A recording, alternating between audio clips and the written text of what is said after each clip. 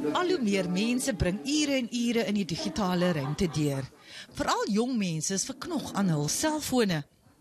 Dit het die 24-jarige Ellen van der Meulen die idee gegee om 'n toepassing te ontwikkel om werksgeleenthede te skep. We just looked at the problems that were preventing young people from finding work, and it's either they didn't have work experience, or they didn't have you know, qualifications, or they didn't have the money to find work. So Zlato allows people to volunteer, gain work experience, and then at the same time get an incentive which they can use to buy things. Die Mitchells Plain entrepreneur en sy mede-stigter Senzo Masumpa se toepassing het reeds 'n 100 000 gebruikers. Die toepassing kry veral aftrek onder mense wat al werk weens die COVID-19 pandemie kwyt is.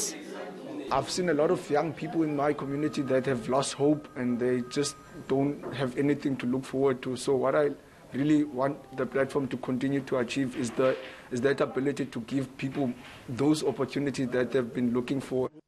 Van der Meulen sê jy het geen ervaring nodig om die toepassing te gebruik nie. Taak wat jy verrig, verskyn op jou digitale platform. Gebruikers wat iemand nodig het om 'n taak te verrig, kan dit sien wat jy al gedoen het. En jy het nie data of ligtyd nodig om toegang tot jou profiel te kry nie. Tanya Neft, Eni Skaapstad.